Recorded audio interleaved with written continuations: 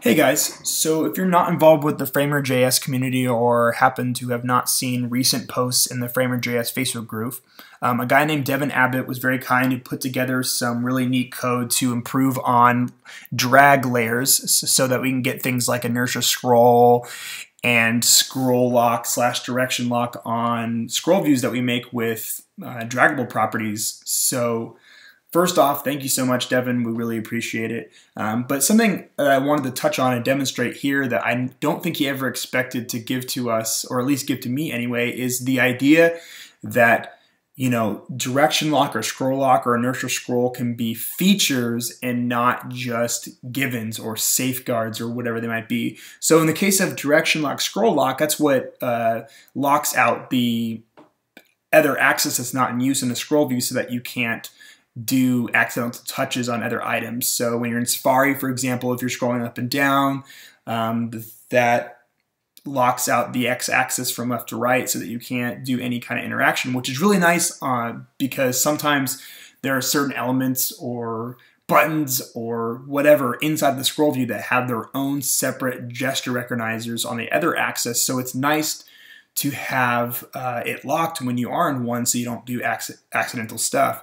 But as I was thinking, you know, I think that direction lock and scroll lock it serves its purpose, but I think that there's also a lot of potential for expanding on the interaction in the scroll view because although you're locking out one axis when you're in a scroll view, that doesn't mean that you can't accept any kind of interaction uh, in the quote locked axis to do other things easier that you wouldn't be able to do um, while the scroll view on the locked axis wasn't locked.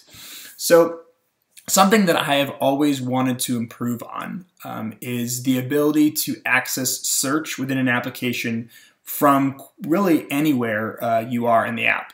Um, search is so powerful, yet it's so often hidden in a menu or at the top of the screen. And as devices get bigger and we pack them more with really neat functionality, something has to give. And often it's search. And I have always found that really frustrating because I would love to use search more, um, but it's been really difficult. What do you do, like, other than putting a button on the screen or something like that, you know? Um, so I took this idea that direction lock and scroll lock can be a feature. It can be a feature. It's not just a safeguard. And the last day or so, I've been playing around and I put together this demo app to show you a really neat thing I think we can all utilize direction lock for to add extra functionality to our applications or whatever they might be.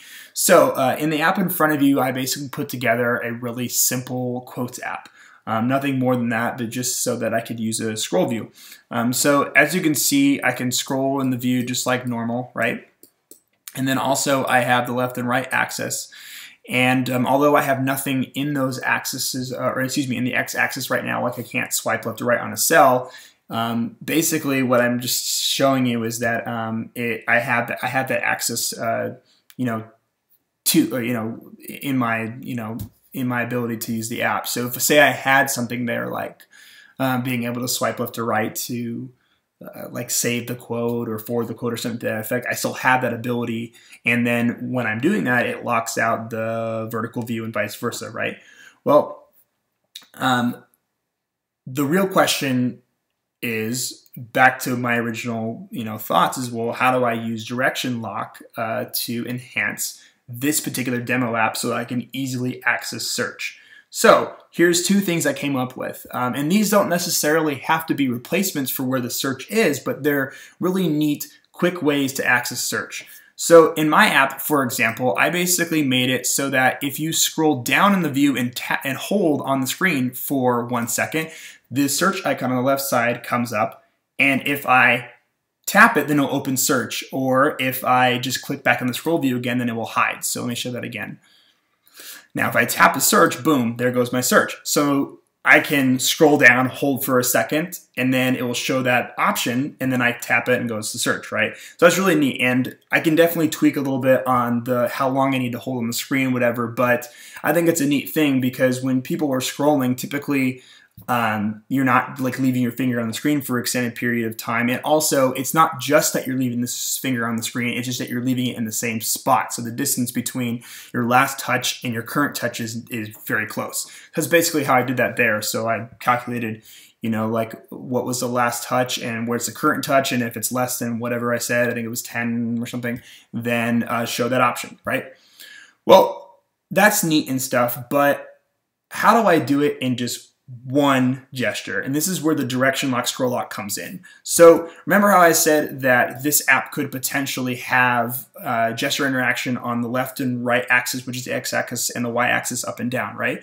Well, if I say scroll in the view vertically, then by the virtue of scroll lock, I would have then locked the x axis. Well, I may have locked the x-axis for myself, but I can still use the x-axis for something else, like maybe opening search. So, as I said, before, as I showed you before, I could drag and leave my finger on the screen and then open search. Also, I could drag and go to the right side of the screen and release, and then I go to search. So let me show that again.